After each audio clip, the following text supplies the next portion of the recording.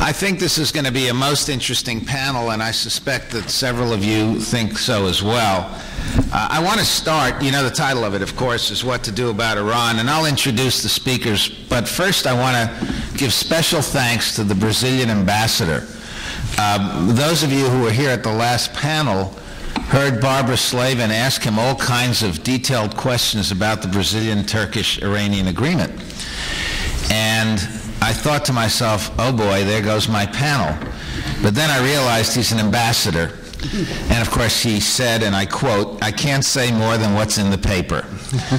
so uh, our panel is still viable. Uh, and we have uh, quite a group of people here.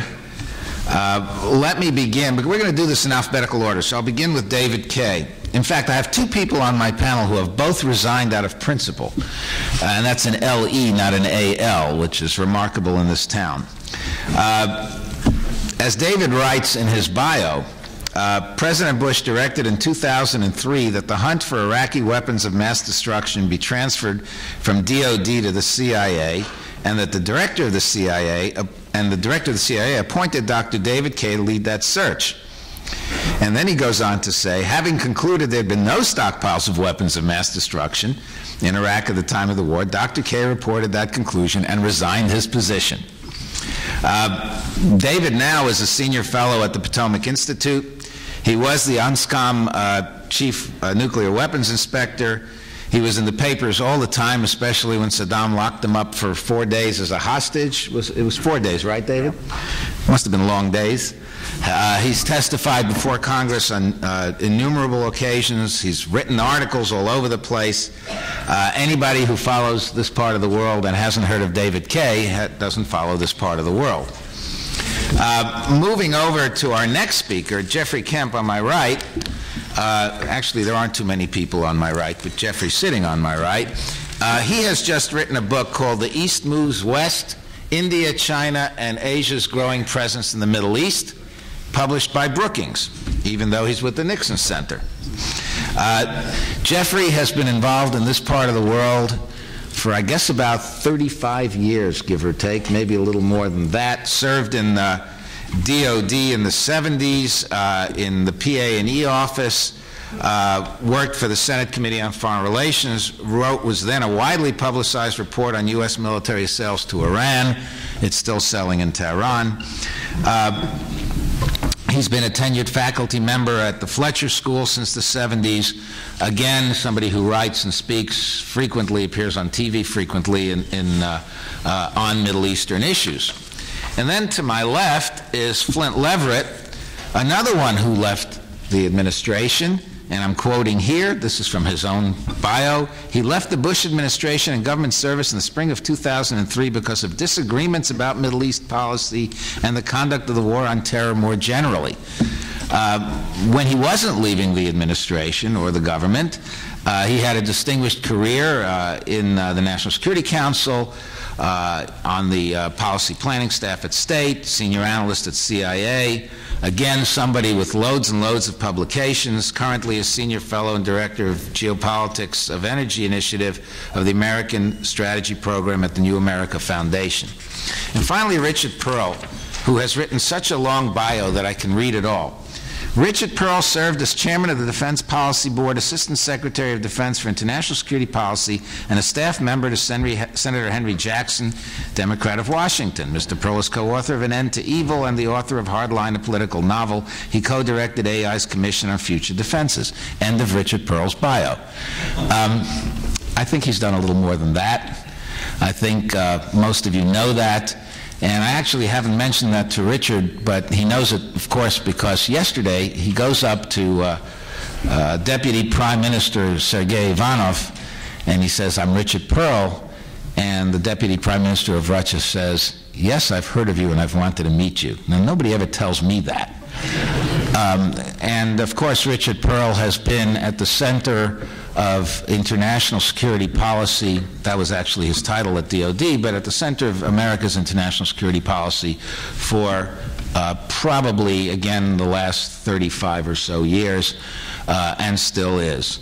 Um, I'd like to just raise a few issues for the panel, and then we're going to go in, in alphabetical order. I hope the panel is going to address some of the following. Uh, first, uh, maybe they can give a better answer than the Ambassador Vieira did.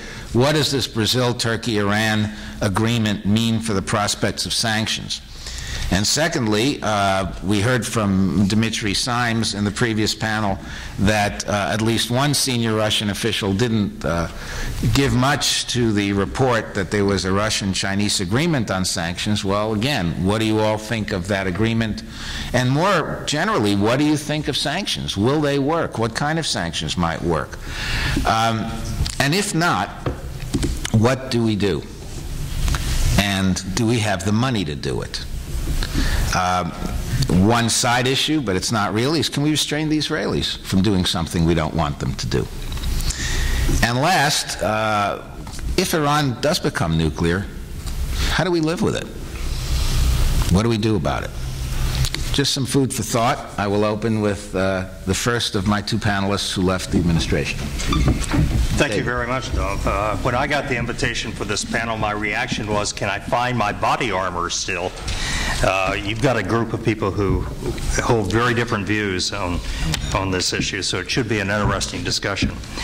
I thought I'd start by, let me sketch out what I think the next 12 months to 24 months hold in this relationship, and anyone who tries to go beyond that uh, certainly has a better crystal ball than I have. I think the current regime in Iran is unlikely to be overthrown in the next year or two, but neither will the opposition disappear. So that's just going to be a petrol source that anyone who tries to deal with Iran in any sense is going to have to recognize. Um, in the near term, I think the U.S strategy, if you can dignify what we do with a strategy vis-a-vis Iran's nuclear program, is to offer or at least seem to offer diplomatic engagement while threatening increasing levels of sanctions in order to slow, and I guess some in the administration would say even reverse Iran's program. My personal view is this policy is very unlikely to succeed. Um, at best, at at the end of two years, Iran's nuclear weapons status will be ambiguous. At worst, the evidence, overwhelming evidence, will be that it's made so much clear and measurable progress towards a nuclear weapons capability that uh, even politicians will have a hard time not acknowledging that. Uh, I do not think uh, that the U.S. nor Israel, certainly in 2010, I would say even 2011, is unlikely to take military action against that program. My, my only basis for evidence on that, perhaps, is that John Bolton, who has been assuring everyone that er, Israel would, uh, most recently in his Wall Street editorial says, well, we've got to learn to answer the hard question of how do you live with a nuclear armed Iran if Israel won't do it. I think the, and go into this if you want has questions, I think clear balance of, of advantage and disadvantage is understood in Israel as well as in senior levels in Washington that military action just has too many first and even and second, third order consequences to undertake it. Given that, I think the Iranian position is, and I think we've seen it this week, is to continue to develop diplomatic, strategic, and economic options to mitigate the effects of any U.S. led effort to get sanctions. And let me say, I hope you listened to what Ambassador Vieira said. It was not just read about it in the newspaper, it was a very subtle and diplomatic statement that said, look, the old UN institutions of the Security Council led by the, the PERM 5 uh, and 5 plus 1 with Germany having essentially been annexed to the PERM 5 is no longer seen as adequate by many members of the Security Council and the UN. Any U.S. administration is going to have to come to terms with that. I thought, today, if you go online and read Secretary Clinton's testimony. Secretary Clinton was up before the Foreign, Senate Foreign Relations Committee, and she opened her statement by saying We have achieved agreement with the Russians and the Chinese on a sanction, a tough sanction resolution, and that is our answer to the agreement with, between the Turks, the Brazilians, and the Iranians.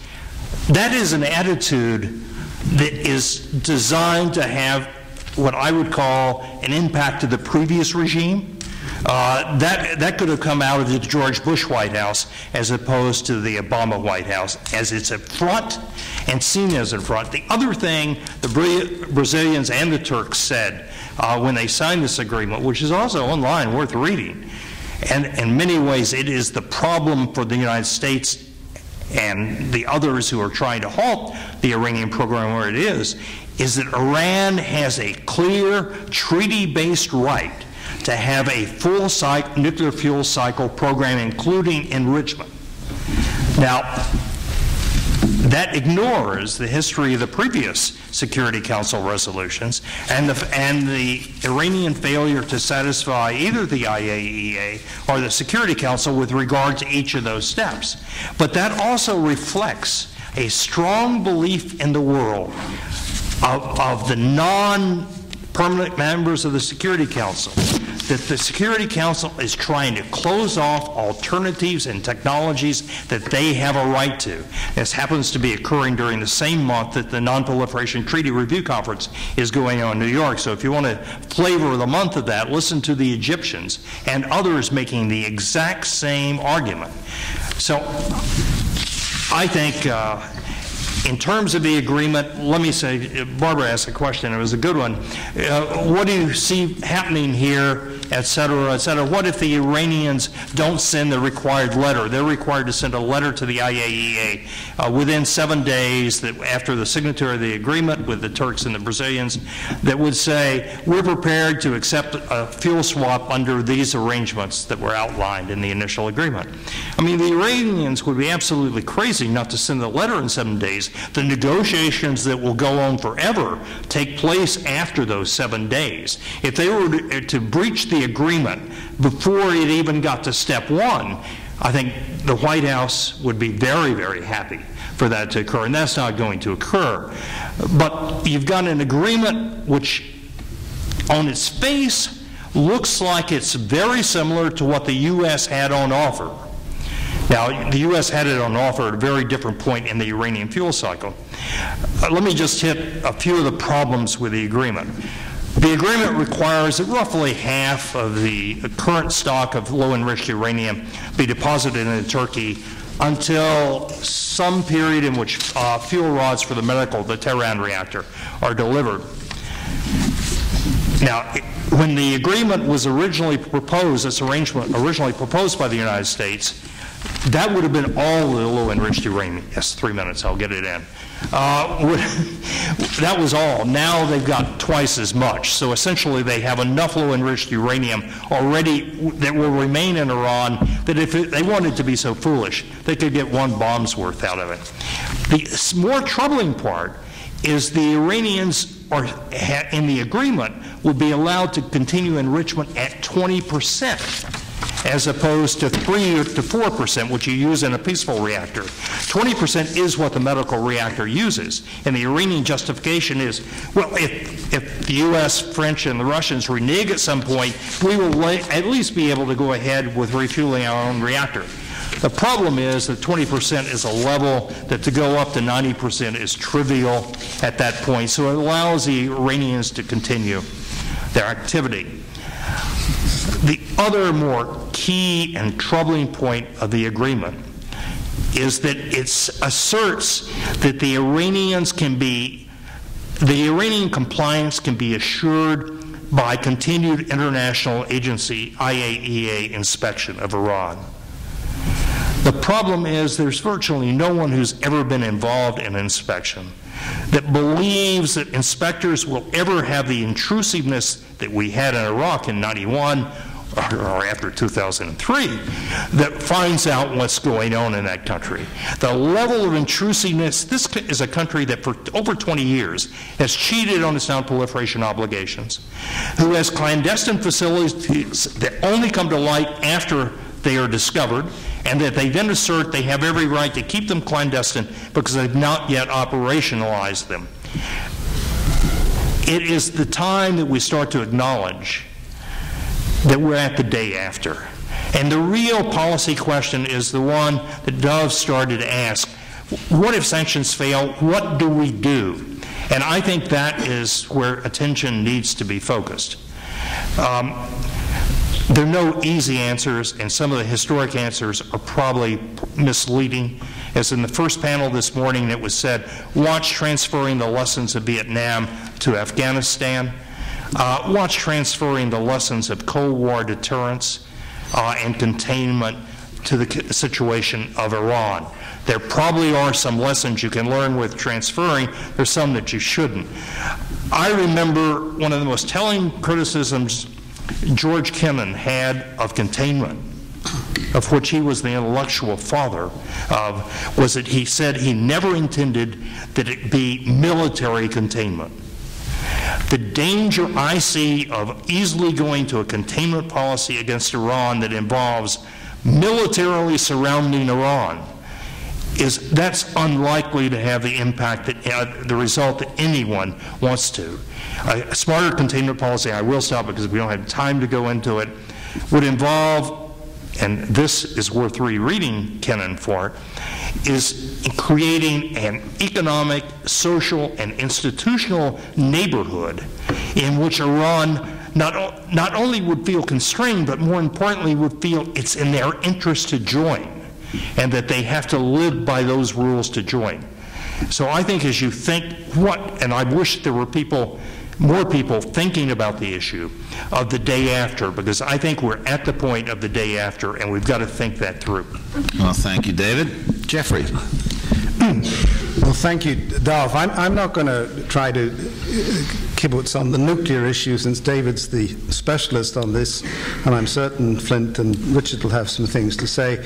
What I wanted to do was to address very specifically the question what to do about Iran, but in the context of the last point that David made. Namely, I mean, Iran is in a region, and, and how Iran evolves and how the region evolves is going to, uh, in large part, determine what flexibility and options the United States has.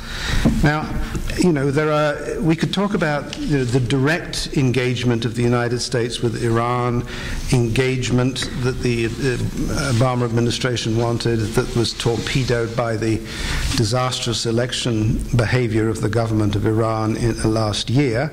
Um, sanctions, I don't hold out much for sanctions, but I do think they are useful in a limited sense. Um, and, and, as for confrontation, I, uh, military confrontation, I think that's a, less said about that, the better, in my judgment. Um, Iran is a dangerous country, and it's an important country, and it's a country that has aspirations, some of them, I think, perfectly justified, others of them perhaps a little pretentious.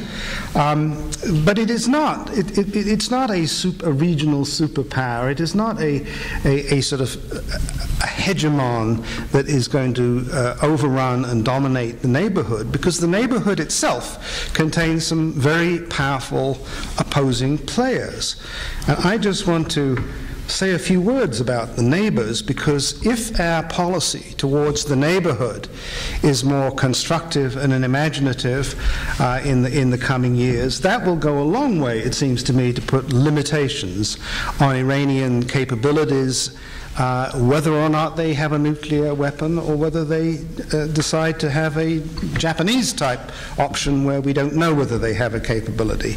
Um, let me say a few words about several very important neighbors who directly influence what's going on in Iran Iraq, Turkey, uh, the Arab Gulf states, AfPak, Afghanistan and Pakistan, um, and increasingly, increasingly some of the major Asian powers. Now, we discussed this morning the war in Iraq and where it's leading to, and whether or not the elections will result in a stable government. And I don't want to repeat all that. I just want to sort of to think through, though, that having invested so much blood and treasure in Iraq, it really is in our interests, no matter what opinions we had about why, the, why we went in, it really is in our interests uh, to, to, to, try to make sure that Iraq works, uh, works in a way that serves some of our interests. We had a talk the other day by um, uh, Qubad Talabani at the Nixon Center, who, who sort of stressed that, you know, what everyone hopes to see emerge is, is a relatively democratic Iraq, a relatively stable Iraq, relatively um, secular and prosperous Iraq. Now, um, that, if it happens over the coming years, is of extraordinary importance because you know Iraq has great potential to uh, once more be a major player in the region, and if indeed the the numbers about potential Iraqi oil production are anything to be believed, with you know some are saying they could go uh, up to five to six million barrels a day, even more over the coming four or five years. That will have a profound influence on Iran. Iran. And I think the idea that the Iranians are going to treat Iraq as a sort of a, a, a, a satellite and be able to manipulate the Iraqis, I think, is wildly overestimates uh, their capabilities. Turkey, critical country in this this deal with Brazil, but irrespective of the nuclear side of it, Turkey is a really important emerging power now in the Middle East. Its relations with Israel, Syria, um, Iraq, Iran, Afghanistan are all very important to our interests.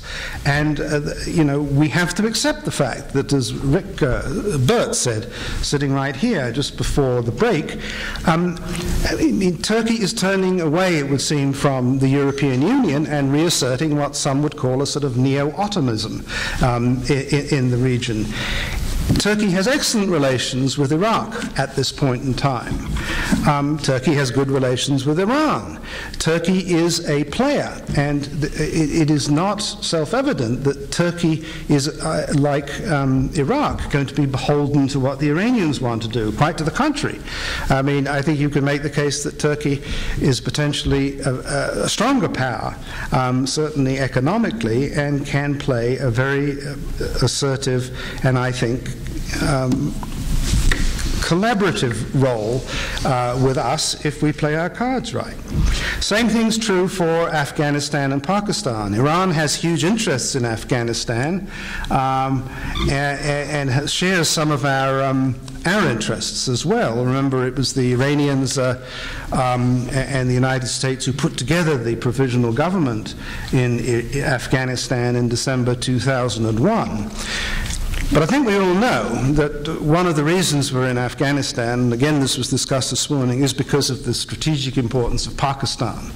And if, just like Iraq, if, if Pakistan emerges from its current turmoil um, as a uh, stronger, uh, more stable uh, democratic country, you're talking about 170 million people, more than in Russia, uh, in a fully fledged nuclear force. Uh, there have been all sorts of hopes that there will be a rapprochement with India at some point in the future, if only for economic uh, self preservation. Then it seems to me Pakistan becomes a very important blocky, block of any Iranian sort of expansion uh, to the east. We have the Gulf Arabs.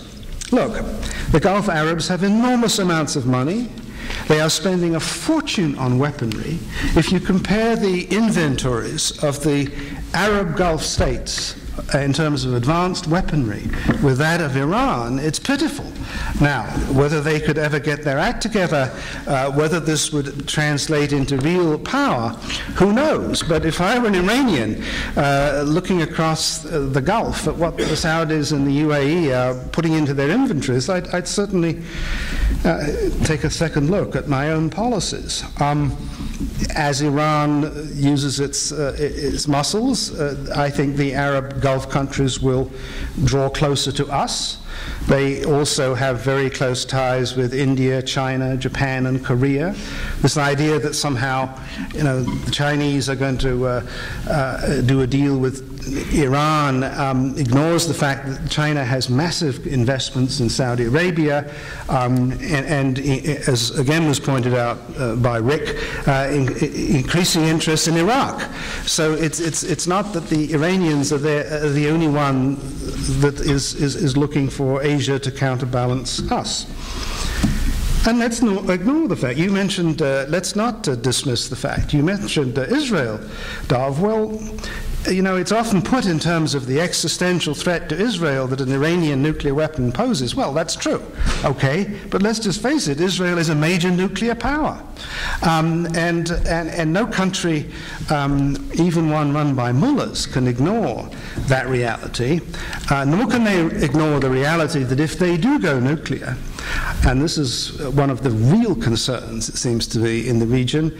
Um, Egypt might be uh, in a position where it too then has to reconsider its, its nuclear options. And none of this, it seems to me, adds up to a very uh, pretty picture for the Iranians. So I guess my conclusion, Dov, is that um, yes, I know there's a hell of a lot can go wrong, and we should focus on this nuclear issue right now, and uh, whether the the, the, the UN uh, uh, uh, vote on sanctions is going to be strong or weak, who knows? But the reality is, unless we look at this in the context of the regional developments and the fact that there are other major players out there as well as us, I think we're going to miss the big picture. Well, thank you very much, Jeff. All right, Flynt, over to you. Thank you very much. Um, let me start by um, trying to address the two questions that Dov laid out, and then I'll offer um, a few remarks about where I think U.S. policy toward Iran should go. Um, one of the questions that Dov posed is what is the impact of the Brazil Turkey nuclear deal on the prospects for for sanctions. And I think my bottom line is um, it's made uh, getting a Security Council consensus on sanctions um, much more difficult than it already was. And I think if the United States um, continues to respond to the Brazil Turkey deal as carelessly as Secretary Clinton has been responding to it um, over the last 24 hours. Uh, I think the difficulties facing the U.S. and the Security Council will, will only grow. Um, I think this is a really significant development. Here you have two rising economic powers exerting very decisive political influence on a high profile issue of international peace and security. And they did so in a way that politely, but I think pretty clearly, signaled to the United States that rising powers aren't going to accept the United States unilaterally defining the terms for managing such issues.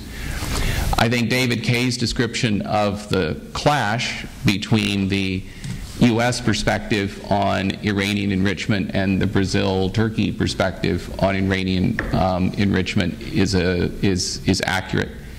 Um, from a Brazilian perspective, as I understand it, you know, Brazil is a country which gave up its own nuclear weapons program uh, to the satisfaction of the international community but continues to insist on its right, um, its sovereign right, and its right as a signatory to the NPT to uh, fuel cycle activities. And I think it's understandable that Brazil would be very uncomfortable with an effort by the United States unilaterally or even in conjunction with other P5 states to, um, in a sense, unilaterally define um, the rules of the road for enrichment by non weapon states.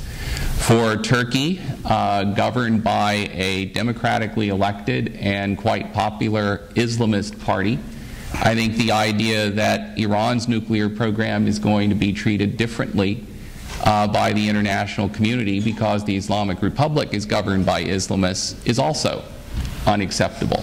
So it doesn't surprise me at all that these two countries would, would push back and put as the first point in this agreement that was brokered in Tehran um, a clear statement that Iran has the right to, um, to enrich uranium.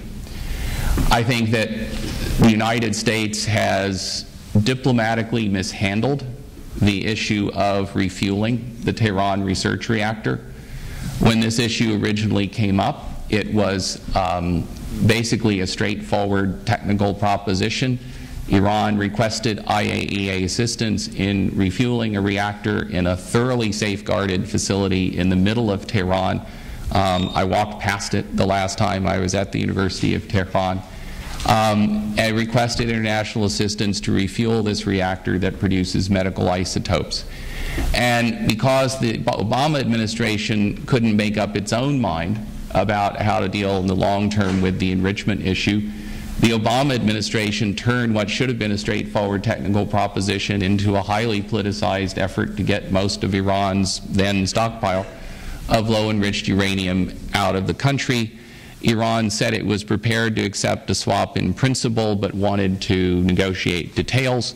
Uh, the Obama administration's been insisting since October that the so-called Baradei proposal was a take it or leave it proposition, even though Baradei has said publicly it shouldn't be treated as a take it or leave it proposition. Now, you know, that's basically a formula for making yourself diplomatically irrelevant. And I think it's in that vacuum that Brazil and Turkey stepped in. Um, on enrichment, I mean, the reality is Iran is enriching uranium. I think the prospects of Iran stopping enrichment, um, you know, are about equal to mine of winning the lottery. And, you know, we ought to face reality and we ought to stop going on this quixotic quest to stop Iranian enrichment and we ought to instead be engaging in serious negotiations about the uh, monitoring verification arrangements that would be in place to make sure that those enrichment activities don't produce fissile grade um, material for uh, for nuclear weapons. But that's a, you know that is a, a shift toward reality that the Obama administration has yet to make. I think if they uh, if the Obama administration you know basically refuses to work with this um, refuses to try and reach some sort of accommodation with the Brazilian-Turkish deal. Um, you know, China, Russia may have signed up for a heavily watered down sanctions resolution in terms of language. I don't think they're going to be rushing. Of some significant change from current policies, they will become a nuclear weapon state. Secondly, uh, uh, I doubt that uh, diplomacy um, will lead Iran to abandon its nuclear ambitions. Uh, that's the only objective worth defining uh, through the diplomatic process. Uh, a great deal can be done um, in the way of uh, discussions, even agreements, that fall short of achieving the purpose. But the purpose must be the abandonment of a weapons program, and I don't believe that's going to be achieved. Um, through diplomatic means. Um, third, Iran, it seems to me, has outmaneuvered the United States and those of uh, our friends who share our misgivings about the consequences of Iran becoming a nuclear weapon state. Um, and I believe this agreement, uh, uh, together with the Turks, um, and the Brazilians is yet another uh, skillful maneuver by the Iranians that in no way suggests uh, Iran is interested in slowing or altering its course, which is aimed at acquiring nuclear weapons. Fourth, it seems to me that uh, sanctions that are conceivable won't work, and sanctions uh, that uh, that might work uh, are not conceivable, with one exception, and I'll come to that exception at the end. So, the effort to cobble together sanctions that will be uh, inadequate to the task seems to me to play right into Iranian hands.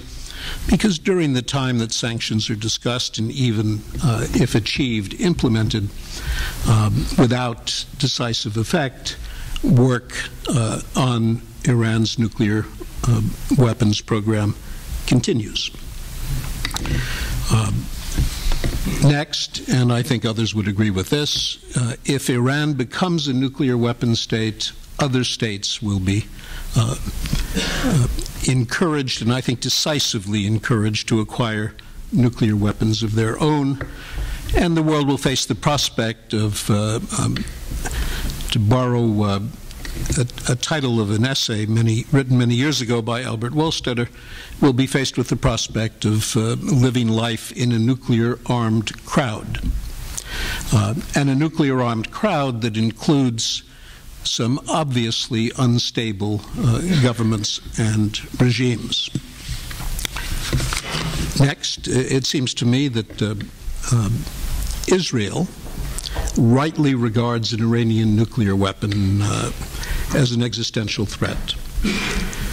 Um, whether Iran would actually use a nuclear weapon or permit one to be transferred to uh, an organization that might.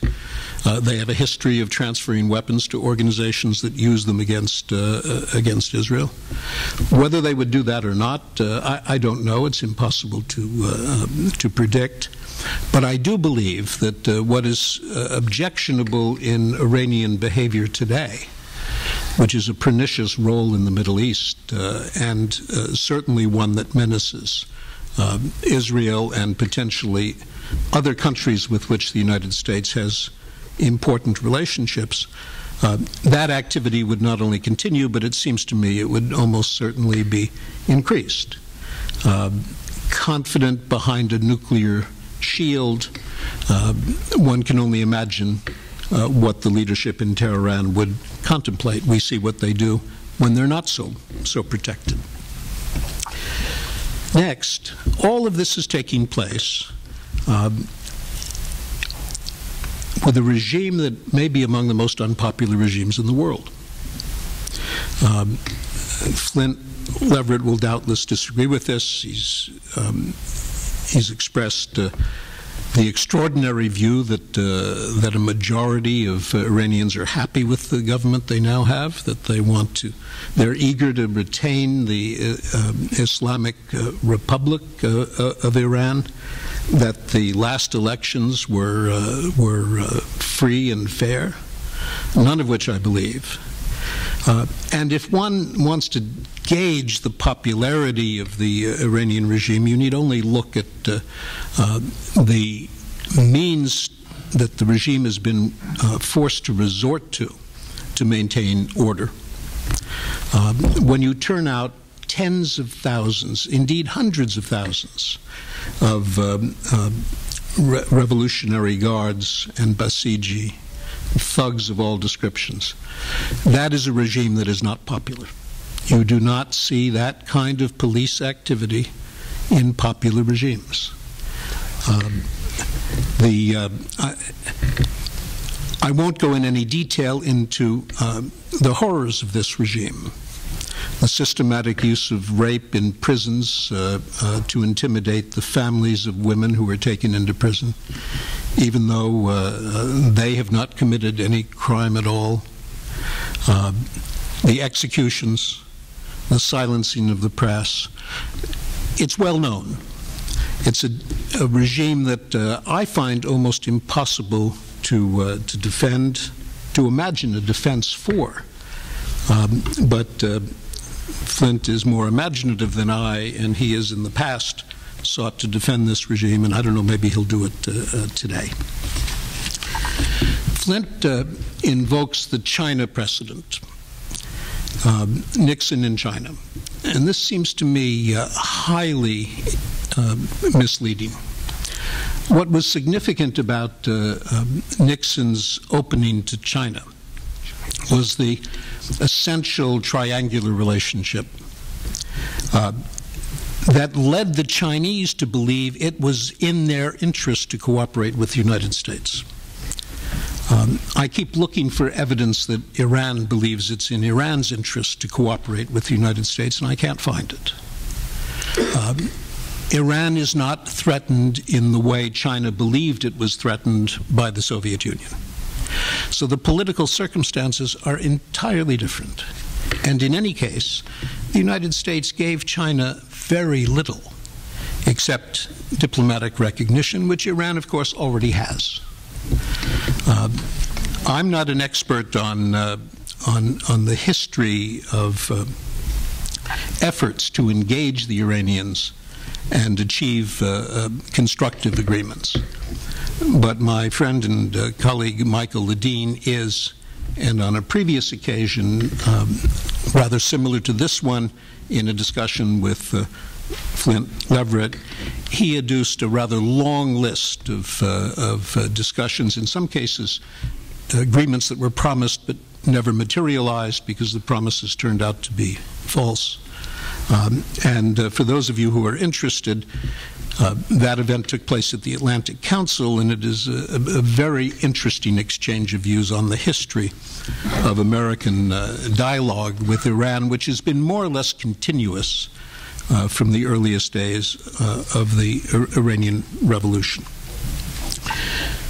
So I'm rather uh, skeptical about the China precedent, and I certainly question uh, Flynt's, I think, underlying premise when he says that for the United States to achieve its objectives in the Middle East, we must achieve a rapprochement with the Islamic uh, Republic. Um, is that because the Islamic Republic will deliberately and mischievously uh, make uh, uh, trouble with respect to all of our objectives unless we achieve a rapprochement? What price are we going to pay for that rapprochement? Um, it could turn out to be a higher price than uh, the the problems we have to contend with if Iran continues to be mischievous. And I don't think there's much doubt that it is, in fact, mischievous is um, not quite the right word. It's worse than that. So I, I have grave doubts that uh, we can sit down with the Iranians and transform them from our opponents to our uh, strategic partners or collaborators. I believe them when, uh, when they uh, describe us as, uh, as they do. Not as a potential uh, partner, but in the most draconian terms. We are a, uh, a threat to everything that uh, the present leadership in Iran hopes to achieve.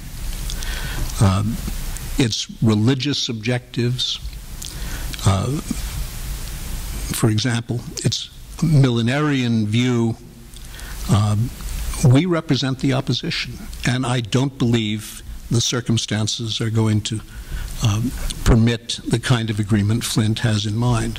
The Chinese, by the way, for all their differences, were uh, immensely practical. You did not find um, um, Zhou Enlai or Deng Xiaoping or even Mao expressing the kind of uh, fanatical millenarian view that we hear routinely from uh, Ahmadinejad. So the, the prospects are dim, and the analogy is, uh, it seems to me, quite wrong. Where does that leave us? There are two things that I think we can do.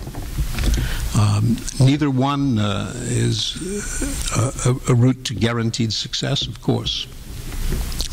One is we can uh, assist those Iranians who want to change their regime. Now, I, I can't tell you that they will succeed. Uh, I think they will, even without us, in time. But as of now, they get no help from us.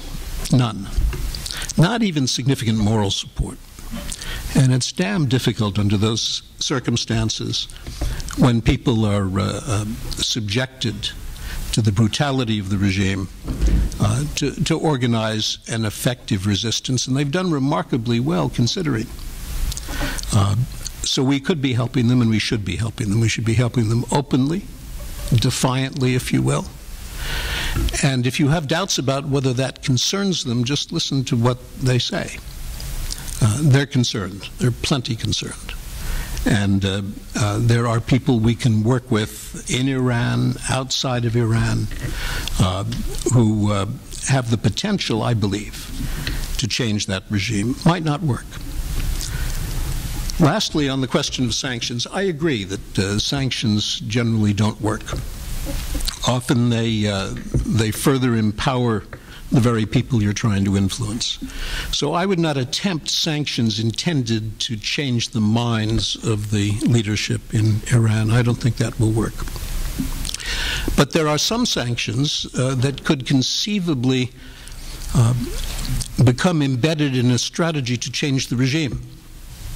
And one of those has been widely discussed and uh, has very significant support uh, uh, in Congress. I think that must be what Flynt had in mind when he made a derisive reference to the Congress, and that would be uh, a, uh, an effort to uh, restrict, insofar as we can, not completely, of course, the flow of refined petroleum product uh, that fills the uh, gasoline tanks, uh, civilian and military, and which Iran must import from outside because they can't produce enough.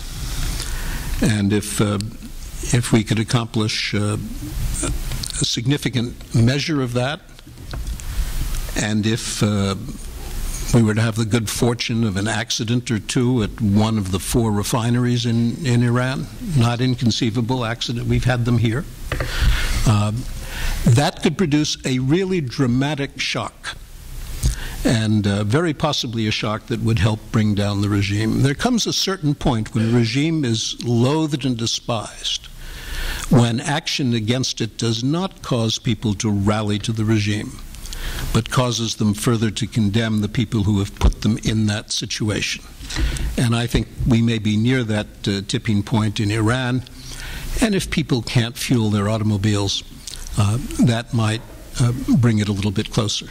So I would hope we would give some serious consideration to those measures, and least of all, cave in and accept that it is inevitable that we must live with an Iran that behaves as Iran behaves across the board and that has nuclear weapons on top of it.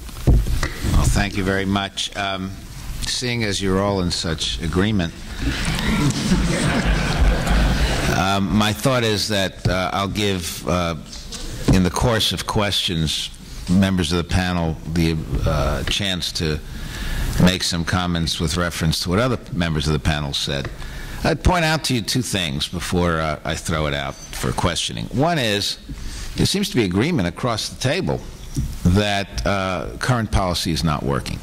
Now, the solutions are different, clearly, but no one I heard rally to the uh, current policy to support of the current policy. The other point I think uh, is important in light of the discussion we had in the previous panel about globalization. The argument's been made that because of globalization, countries are getting less nationalistic. And I certainly didn't hear that in this panel. Uh, whether you talk about Iran itself, neo Ottomanism, which doesn't sound globalized to me unless it's under Turkey, uh, references we've heard to neo-czarist policy, which isn't terribly globalized. Iraq, Egypt, Brazil, China. Uh, none of these countries seem to be uh, any less nationalistic uh, now than they were a decade or a hundred years ago, frankly. So we need to distinguish to some degree between economic globalization on the one hand and uh, political nationalism, which in Eastern, what was Eastern Europe, certainly in the region we're discussing today, in East Asia as well, uh, doesn't seem to be getting any weaker. Uh, quite the contrary, actually. Uh, just when uh, I call on you, please let us all know who, you are and to whom you wish to address your question. And uh, as I say, we'll give the panelists a chance to work in some other answers to the questions. You had your hand up first there, and then Barbara had it second, and then Fritz had it third. So.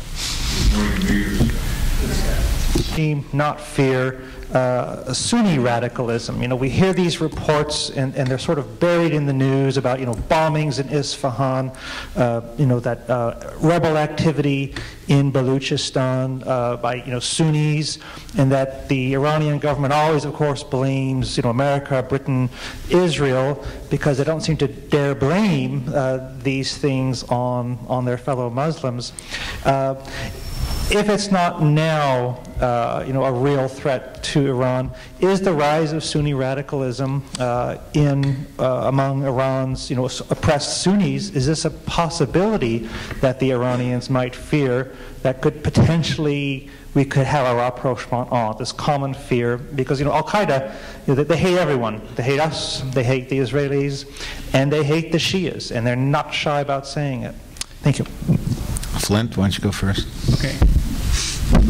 Yeah, I, I think that um, the rise of, of Sunni extremism as epitomized by Al Qaeda, the Taliban, um, Sunni extremist groups, Salafi groups that have emerged um, in Iran itself, I, I, think it's a major security concern um, for, for the Islamic Republic.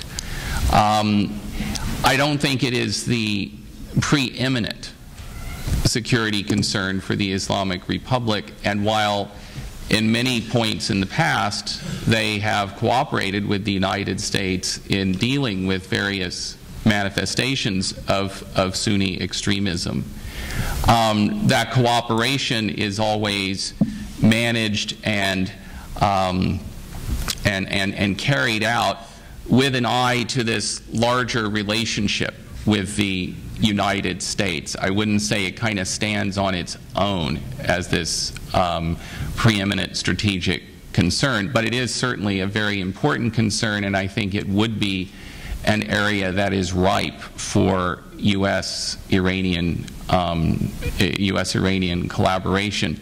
Let me just. I, I wanted to take up the premise of your of your question about how that, and it gets to, to something that, that Mr. Perle said about that there's this kind of triangulation element with U.S.-China rapprochement that's not present in the U.S.-Iranian case. I actually think that's the wrong way to look at U.S.-China rapprochement. I mean, if, if all U.S.-China rapprochement was about was dealing with the Soviet Union, why did the U.S.-China relationship become more important in the Cold War, not less important? What the U.S.-China opening was fundamentally about was that both countries had some very important strategic and other problems that they could not deal with, or at least could not deal with in an optimal way without better relations with one another. I would say that is very, very much true for the Islamic Republic in the United States today. Both sides have important security and strategic problems that they can only deal with, or at least only optimally deal with, um, in an atmosphere of improved bilateral relations. I think that's the real parallel to draw. Thanks. Richard? Well, I, th I, think we just differ on the history, but there are people here, uh, Marvin Kalb, Richard Solomon, who know a lot about this uh, subject. My recollection um, is that uh, the the interest in countering the Soviet Union so completely swamped all other concerns that, uh, for all practical purposes, that's what the rapprochement was about. It wasn't about two countries getting together to solve uh, other problems.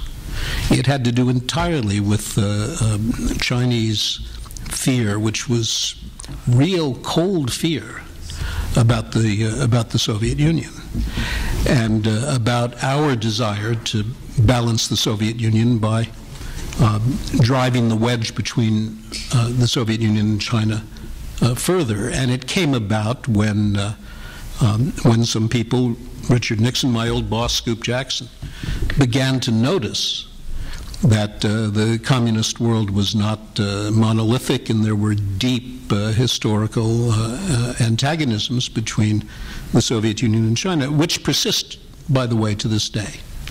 And uh, they, they get papered over from time to time, but uh, if, you, if you scratch a, a Russian, he's worried about China. The Chinese less worried about Russia now. Jeff? I, just a footnote on this comparison. I mean, the other point I would make is that one of the, the reasons that the Nixon to China uh, overture worked was because Richard Nixon was the Republican president. I mean, uh, coming from a party that had been the most strongly opposed to any normalizations with China. Now, the, for today, Obama to offer uh, rapprochement with Iran, I, I mean, it, it's not going to happen. I mean, the, the entire Republican Party and most of his own party would turn against him if you try to calculate the opinion on Iran on Capitol Hill. So, it, you know, I may be unrealistic about some of my hopes, but Flynt, we have to wait. We have to wait for a. We have to wait for a, a Richard Nixon for this to happen. It's not going to happen soon. We only ha- we only have his center. Uh, the president of the center wanted to have a quick word. Barbara, I hope you don't mind. I actually was uh, impressed uh, with consensus on the panel about one rather important issue, at least an implicit consensus. So there is no military option. I think that this is important to establish. If everybody on this panel believes that there is no military option, that is a very important conclusion. I, I don't believe that, Dmitry. Good try, Dmitry. I mean, I, I, I didn't say anything about it, uh, and it, it seems quite clear to me that this administration is not going to take military action. Um, but the Israelis are another matter. And it seems to me uh, that uh, they will face a moment, can't tell you when, uh, when the evidence is overwhelming that they have a last opportunity to impede the nuclear weapons program. In 1981, when the Israelis destroyed the Osirak reactor, it wasn't because it was on the verge of producing a nuclear weapon or even nuclear material in any quantity. It was triggered uh, by something quite different, by the fact that fuel was about to be loaded into a reactor, and once the fuel was there, uh, it could only be attacked with uh, um, collateral damage that was politically and morally unacceptable. So uh, if they didn't act before the fuel went in, they would lose the option to act forever. There will be some trigger, maybe not quite as black and white as that, that the Israelis will be monitoring very closely. And if and when they arrive at that point, and uh, the uh, um, the opposition have not brought down the regime in Iran, I, I hope that's the better solution. Uh, or sanctions have not uh, helped to trigger uh, a collapse of the regime. Uh, then I think they will take action, and I think they um, they're investing a lot of money and time and energy in uh, preparing themselves to do that. They're training constantly. They're developing new weapons for that uh, that purpose, and uh, we all hope it's unnecessary. But I believe they're capable of setting the program back sufficiently so that if you believe that it is the threat the Israelis believe, it is the the least bad option. Barbara. And do identify yourself. Thank you, Barbara Slavin. Uh, two questions. Flynt, uh, Jeff Kemp has said there's no way Obama is going to do a Nixon to China with Iran.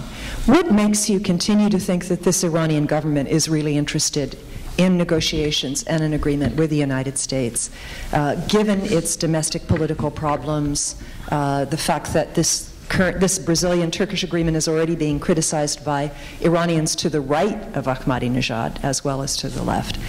And, and to, to Richard Perle, um, given the sorry history of U.S. involvement in regime change efforts in Iran and other countries, Iraq I would mention as well, why should the United States overtly support the opposition movement in Iran. Uh, how would that help them? Wouldn't it really uh, undercut them? And uh, uh are you proposing to find a, a Chalabi for Iran? Thank you. Flynt, I guess you got the first question. Okay. Yeah. I mean, for, he's on the next panel. For, for, for those of you who, who, who don't know, Barbara and I have very different readings of Iranian domestic politics. Um, I, I, don't think the the, the Iranian government is all that constrained on fundamental strategic issues by um, what's happened you know, surrounding the election last June and, and subsequently. Um, you know, it's, it's become this kind of mantra among Iran analysts in the United States that the system is too divided to have a coherent strategy or to take important decisions. Well, they have pursued a coherent strategy on the TRR. They have gotten this Brazilian Turkish mediated deal, and when push came to shove, they took the critical decision to accept it. Um, now, why do I think they're they're interested in this? Um, they say they're interested in it, up to and including the the supreme leader you know, who, who continues, I mean, they're not interested in it at any price. They're not interested in it at what they would consider, you know, a surrender of their sovereignty on important subjects. But, you know, the Supreme Leader has, has said very directly, both in the 2009 Nowruz speech and again in the 2010 Nowruz speech, you know, if the United States wants to change its policies, we will change too.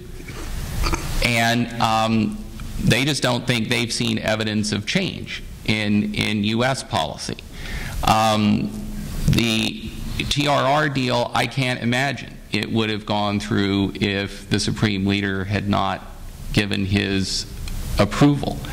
Um, you know, I don't think, huh? It hasn't really gone through yet. Well, um, I think for the kinds of public announcements that we saw in Tehran on, on Sunday and Monday to, to take place. Um, I would take that as a sign that the, the leader signed off on, on that. So, you know, I think they will be able to go through with the, with the TRR deal. Um, whether the U.S. willing to, to, uh, to go through it's another matter, but I think the Iranians would be in a position to do it. And I just, I just, I don't see them as domestically constrained on um, important foreign policy issues. Uh, I, I agree with that. I think the uh, the regime is perfectly capable of acting in a cohesive way, of designing and implementing a strategy.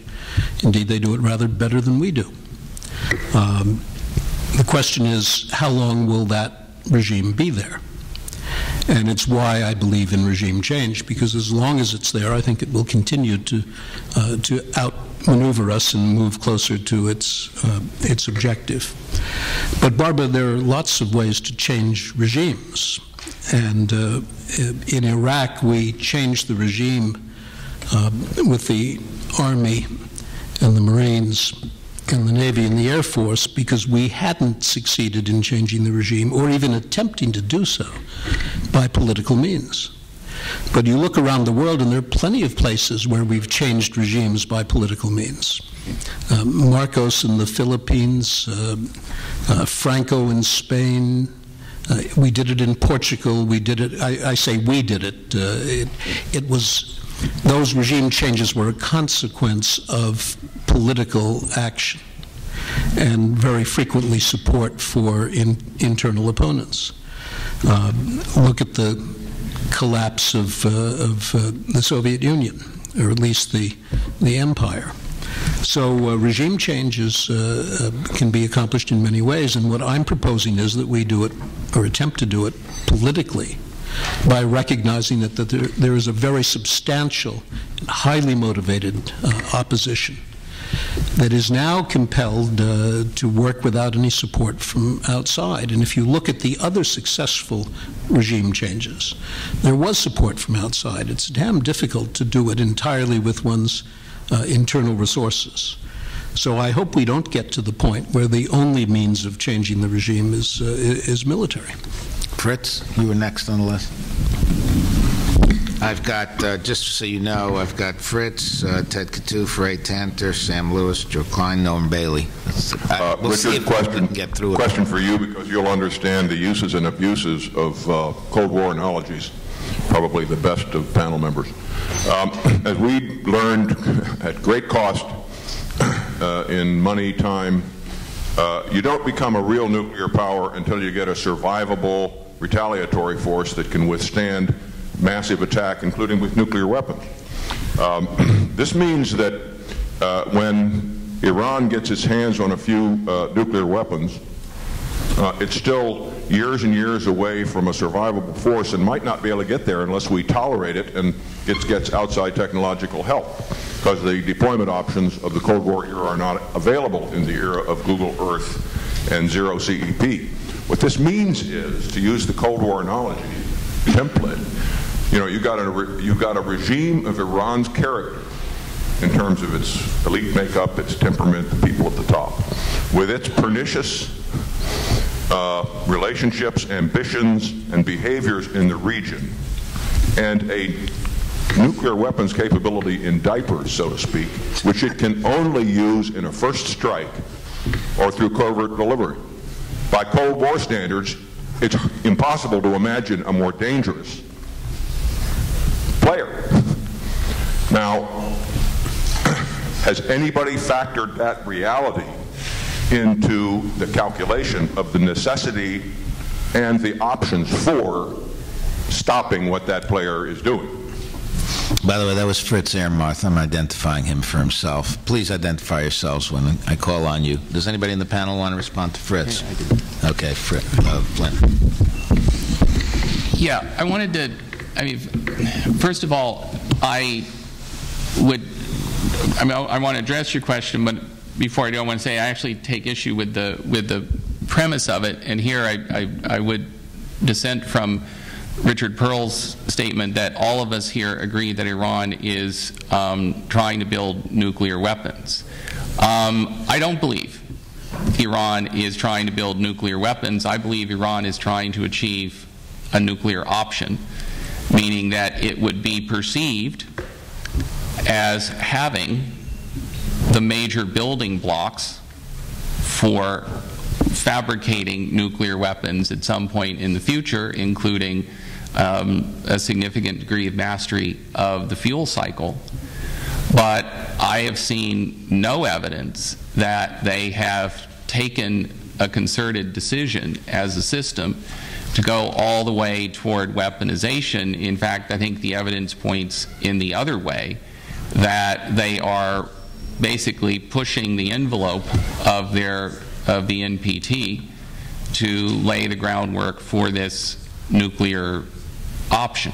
And so I don't, I, I, have trouble with the assumption that, oh yes, if only they can, they are going to fabricate um, fabricate nuclear weapons. Um, I think that is at, at, at best an, an unproven and untested uh, assumption. Um, I also, I mean, I, I think it's, you know, very easy to make facile assumptions about the mindset of the people in charge of the Islamic Republic. But I mean, if you actually look at their, you know, the historical record of Iranian foreign policy since, particularly since Ayatollah Khomeini died, um, I think it, this is a system which basically thinks about its foreign policy in terms of material national interests. This is a country that has no um, significant ability to project conventional military power beyond its borders. I think that's a really important reality to, to grasp.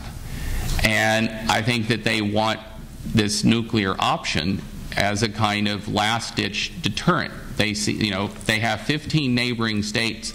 Not one of them is a natural ally. Several of them have been used as platforms for hostile actions against the Islamic Republic and they think they have some major security problems to, to deal with.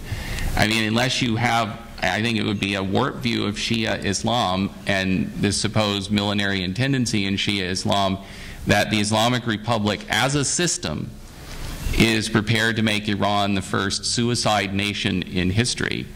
I think the idea of nuclear first use by the Islamic Republic is really fanciful. Uh, David. Yeah, I'm beginning to feel like Joe Biden during the political campaign, so let me respond, the primary campaign.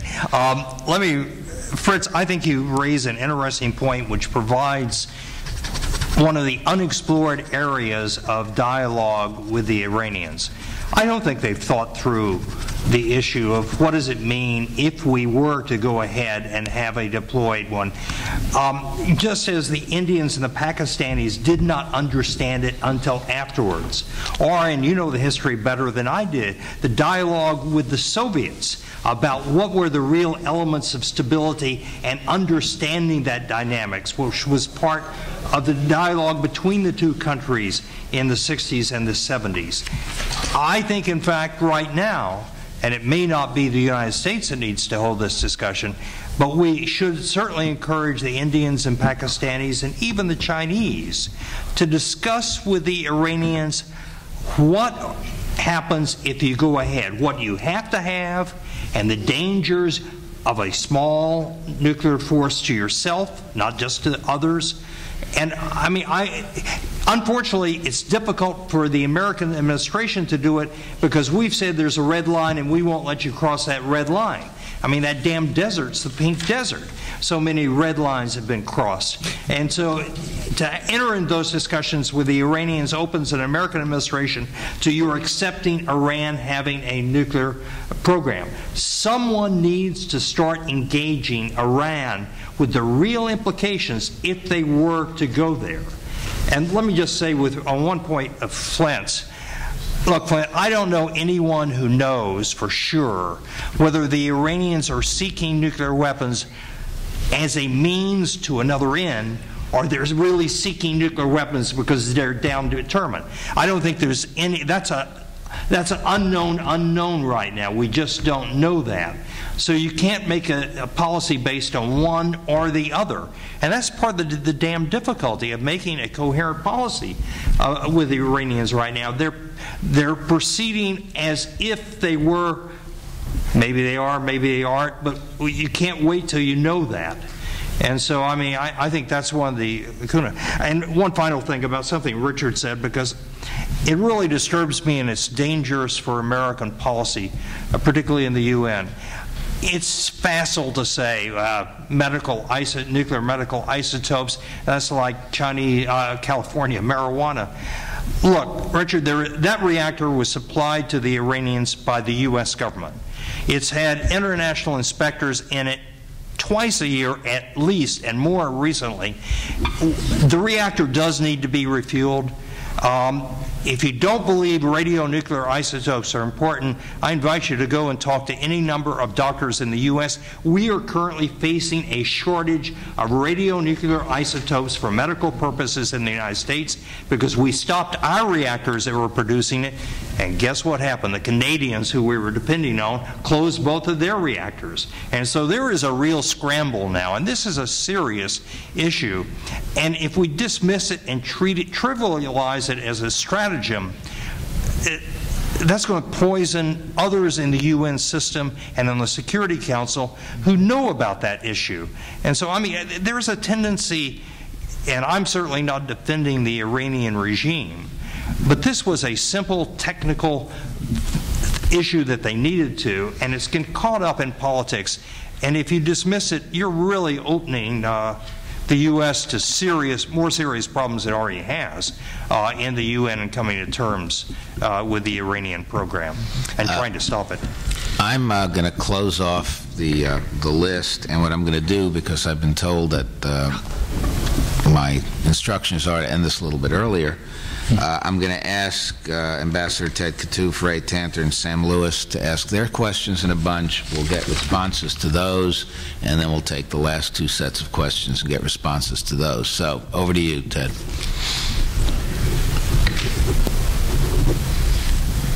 Yes, my uh, question is for Richard Perle.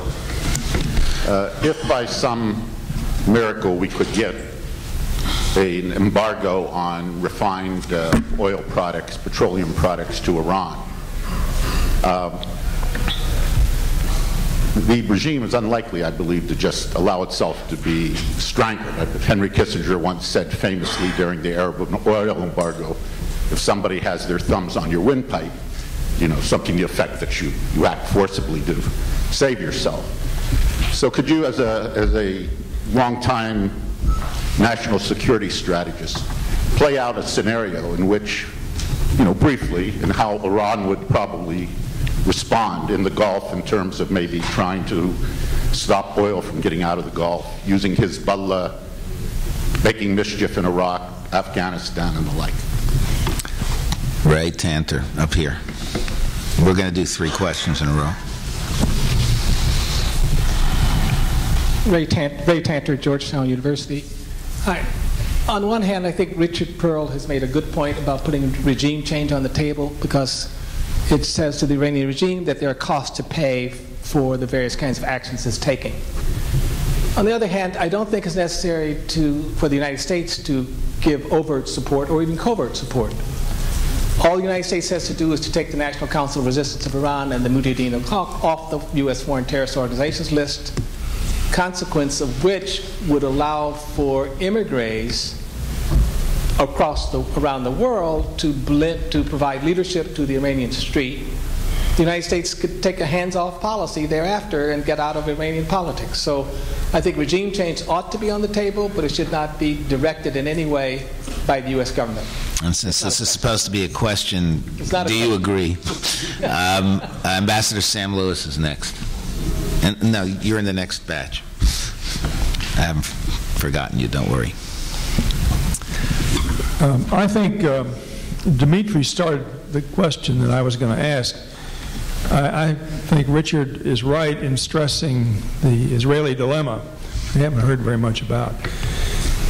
Uh, whether or not it's rational, it is seen as something that is very existential that could happen, and it's hard to swallow that if you've got numbers on your arms, as many Israelis do.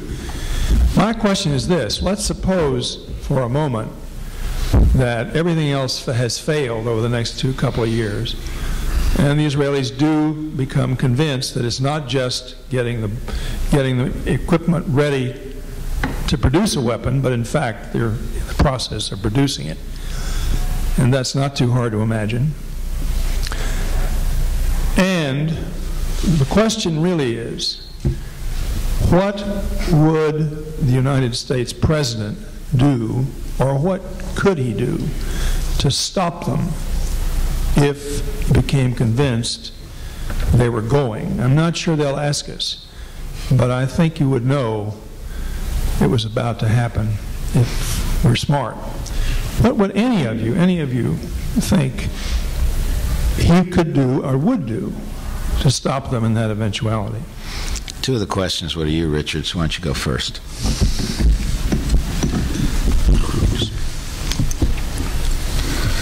Um, you, you started to enumerate some of the things Iran might do if it, uh, if it were subjected to the shock of an even substantially, not completely effective uh, embargo on petroleum product.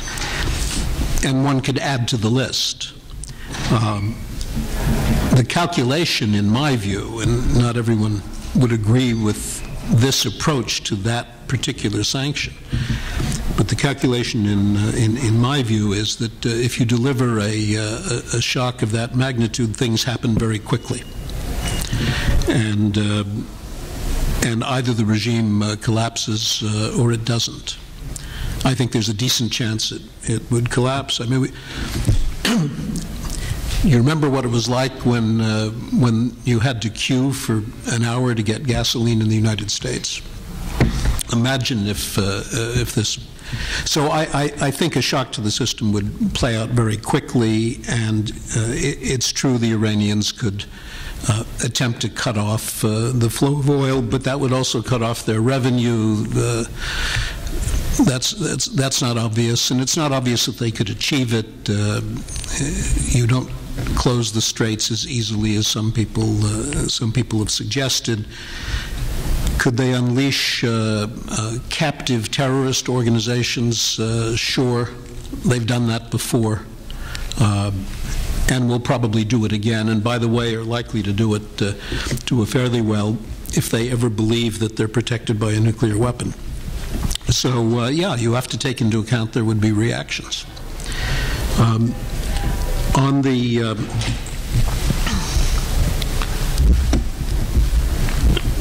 um, I, am sorry. The, what, the Israelis. Uh, on what the Israelis. Uh, Well, how to- think How to deal with it, really, was the question. Well, I, I would hope, uh, Sam, that if we became persuaded that the Israelis were about to act, whatever we thought of the wisdom of that, uh, we would consider that the worst of all possible outcomes would be a failed Israeli action. And we would therefore uh, uh, do what we could to see that it didn't fail. I mean, I think you can change policy very quickly in a situation like that. You know, you didn't want it to happen, but now it's going to happen, and suddenly you recalibrate, or at least I hope you recalibrate. Uh, um, and uh, in, in that event, I think we might, uh, um, we might reconsider whether our opposition carried forward would be helpful or harmful. I just one very brief thing. I, I wanted to respond to something uh, that Flynt said. It seemed to me, in, in the space of two sentences, um, um, he offered us a, a, kind of glaring contradiction. He said, on the one hand, that uh, Iran's interest in a nuclear weapon was unproven and untested, and that's right. Um, and then he said, but of course, what the Iranians want is a deterrent. Uh, that strongly implies that the objective is exactly what remains unproven and untested. And it does seem to me that it's very difficult to explain Iran's missile program except in the context of a of a nuclear program. You don't build $50 million missiles to deliver 800 pounds of TNT. Of course we are. Uh, anybody else in the panel want to respond to Sam Lewis's question? Um, Jeffrey. Sam, I think uh, you know a lot would depend upon the what else is going on in that scenario. I mean, it, it seems to me that that um, any president would have to take into account a what our vulnerabilities are in the region. Do we still have troops in Iraq? Do we still have? Are we still very vulnerable in Afghanistan? What is the what is the the economy looking like? I mean, could this uh, could a, a, strike sort of tip us into a recession? I mean, it seems to me all these things would have to be taken into account.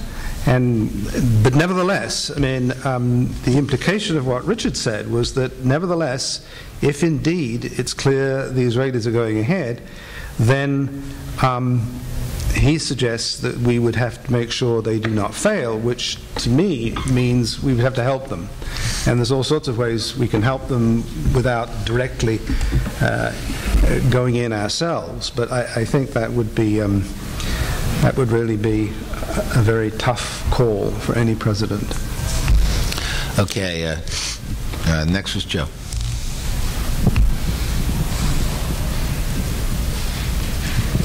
Hi, uh, Joe Klein from Time Magazine. First, um, there was a fair amount of dismissiveness about the uh, the sanctions regime uh, at the United Nations. Got a little bit of news as we've been sitting here uh, this afternoon. The U.S. government has distributed to every member of the Security Council the the agreement, the detailed agreement that the Chinese and Russians signed along with us.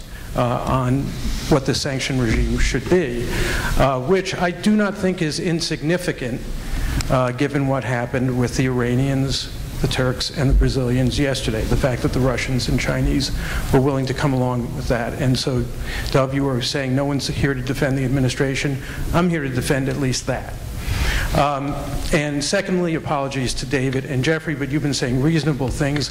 I'd like to follow on uh, Barbara's questions um, to, uh, to Flynt and Richard.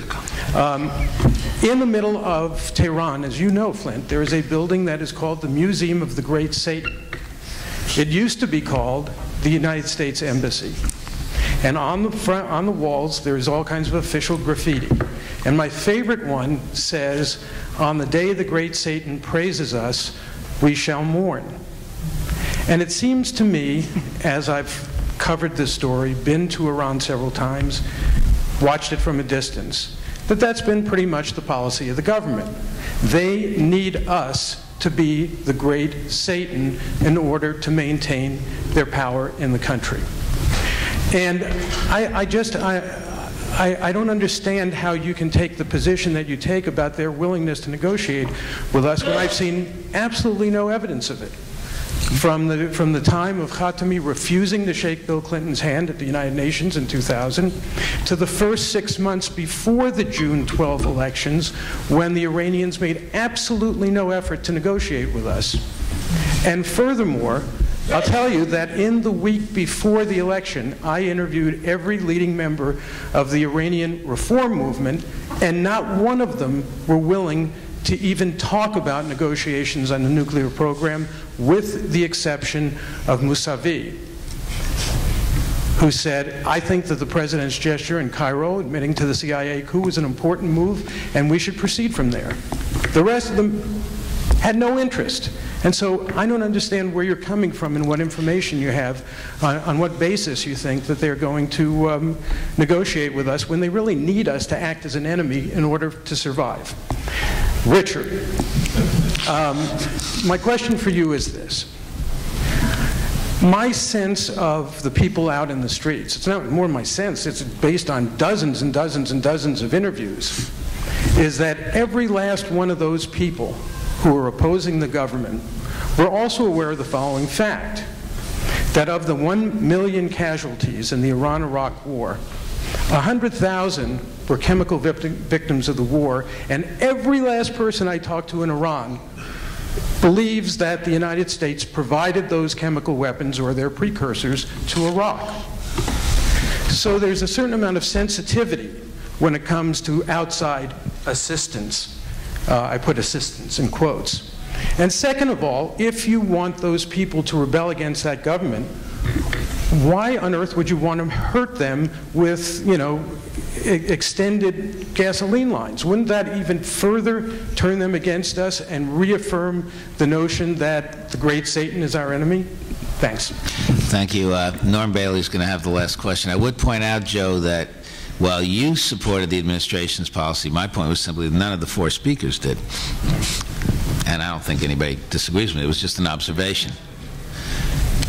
Norm. I've heard of you, and I've uh, always Norm wanted Bailey. to meet you. Um, now somebody said it to you. Um, Norman Bailey, Institute of World Politics. Um, this administration is certainly not going to attack Iran militarily. As a matter of fact, I believe they have already decided that they can live with a nuclear Iran and intend to do so. I can't imagine any rational Israeli government attacking Iran's nuclear facilities, which are heavily hardened. Uh, if I were running the Israeli government, I would attack uh, the uh, soft targets. I would cause Iran to, to stop to existing as a functioning society. I'm talking about oil facilities, uh, uh, electric uh, production facilities, ports, airports, et cetera, et cetera and let the various ethnic minorities in Iran, which altogether, incidentally, are a majority, and all of which hate the Persians, uh, cause Iran to fall apart as a country. All right. Uh, I don't and care. I'll take a commission, uh, BB, if you want to take this. Um, I don't care which you guys wants to go first. You've had some interesting questions put to you. Um, let, let, me respond to, to Joe Klein's question. I'm, I mean, I have a long answer about the, the history of the last 20 years of U.S. Iranian relations and why I believe that there's a you know, steady stream of evidence that the Iranians have been interested in a strategic opening to the United States. But let me just take the, the, the period you discussed in some detail, the, the six months leading up to um, the, the June 12, 2009 presidential election. I mean, what, what occurred in that period was that Obama was inaugurated, he made some initial rhetorical statements that were well received in Tehran. Um, he was prepared to address the country by its official name, for example. Um, and then he issued in March his first Nowruz message. Roughly 48 hours later, the Supreme Leader responded in his annual Nowruz speech in Mashhad. And I thought this at the time, but Iranian officials have told me that this was the correct read. That that speech was really important because what does the leader say in that speech? He goes through the litany of all the bad things that the United States has done to Iran over the years. But then he says, We have no experience with this administration. This is a new American administration. And President Obama says he wants to change. Well, fine. If you change your policies towards us, we will change too. Now, Iranian officials have told me that that formulation was very, very deliberate. It didn't say, here are the three things you have to do, have to change to show you're serious. Because maybe Obama couldn't do one of those things. Or maybe if he did, he'd get hammered domestically for surrendering to Iranian demands. So instead, the leader says, you want to show you're serious, you're going to change U.S. policy toward us, and we'll kind of leave it up to you to define what that means. We will change too. And from an Iranian perspective, from that time on, there was no substantive change in American policy toward the Islamic Republic, and activities that had, the U.S. had been carrying on under the previous administration, including U.S. support for, um, for groups carrying out um, activities meant to destabilize the Islamic Republic, those activities continued after Obama took office. By way of comparison, I would note one of the first things that Nixon did when he took office in January 69 was to tell the CIA to stand down from covert operations in Tibet because he wanted to signal the Chinese that he was serious. The Iranians were looking for a signal that Obama really meant it. From their perspective, they have never received it.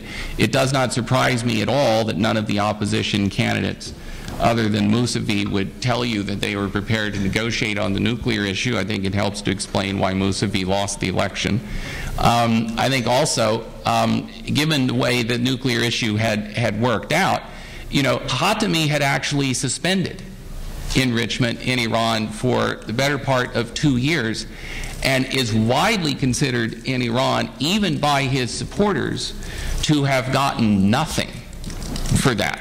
And so why would anyone with any kind of serious electoral ambitions in Iran, you know, step up to the plate a week before the election and say, "Oh yeah, I'm going to, you know, I'm going to suspend. I'm going to do these things to encourage." Yeah, but it's, you know, it, this election was taking place in an atmosphere in which the previous administration's handling of the nuclear issue is widely considered, even by reformists, to have been um, a failure from an Iranian point of view. Um, okay. Richard? And I, I, I think there are tactics and strategy involved, and I think Joe is right about uh, about the strategy. Uh, they need us as uh, as the uh, canonical enemy in order to uh, retain power, and the rest is maneuver. And they're rather better at it than I have, and they take in our officials all the time, and they even take in policy analysts from time to time. Why would a petroleum embargo produce uh, uh, sympathy for the United States? I think you can get to the, I can't prove this, of course, but I think you can get to the point where uh, people say this regime is so badly handled uh, itself that we are now being victimized even by the outside world. I, I remember um, two presidential campaigns, the last one and the one before that, in which uh, an appeal was made to the American voter that because we had become unpopular abroad, we should change our administration. Regime change because we had spoiled things with our friends and our allies. It's the same phenomenon, and it more or less worked. Uh, people came to the conclusion that we were responsible for the disapprobation of others. If you add to that uh, the, uh, the sort of immediate shock effect of uh, grinding the country to a halt or close to a halt, it's a gamble. It's a gamble whether uh, people take to the streets uh, to replace the regime. It's easier to do that than find petrol. And I, I, can't be sure that, that that would happen, but it seems to me it's uh, preferable to the alternatives. The alternatives are Iran becomes a nuclear weapon state with all that uh, entails, or on the verge of it becoming a nuclear weapon state, the Israelis resort to military action. And when you look at those as uh, the, the, the options that uh, we we might face, uh, something like an embargo on refined petroleum product looks a lot less risky. We are just about out of time. I want to give our other two panelists a chance to say, make a quick final comment. I'll be very quick, Joe. I, what I thought we had agreement on up here was that this fourth round of sanctions would not change the policy of the Iranian government with regard to their nuclear weapons program. Mm-hmm. Although I would, I would also add, maybe I'll, we ought to have a side bet for a drink. Filing the resolution does not ensure that there will be a vote on the resolution anytime soon. Mm-hmm. And the new dynamic, if the if the Perm 5 were to press for a vote right now, prior to negotiations on the Turkish, Brazilian, Iranian program, you would have, I mean, you might be able to do it, but boy, the consequence would be horrendous that I don't think anyone would responsibly do it. So, I mean, I actually think we have two trains that just happened to pass. My personal advice would not have been, if asked, would not have been today, the day after the meeting with the Turks, Brazilians, and the Iranians, to circulate the resolution. I think that's going to be seen as a slap in the face of those who are not the Perm Five. But, you know, uh, they didn't ask. It. Jeff, last word. I've been trying to think through what the United States would have to get from the Iranian regime for rapprochement to be politically acceptable here at home. And it, it goes much beyond the ending the nuclear weapons program. It would require the recognition of Israel, the end of military support for Hamas and Hezbollah, and to end direct interference with, with, Iraq and Afghanistan. I simply do not see the regime in Tehran um, accepting those terms. Uh, I just can't believe they would do that. So, therefore, my prognosis for the next uh, year or so is there will be no rapprochement. There will probably be no use of force either there will be no overt Iranian bomb, but they will continue with the getting the wherewithals at some point to get one, and that what you will see is a steady improvement in the U.S. military to military relationships with key countries like Israel and the Arab Gulf, and I think that's that's where it's going to go. Well, I want to thank our panelists. This is not a discussion that has ended, but it's ended for now. Uh, thank you, all of you, for your excellent contributions and for your questions. Thank you.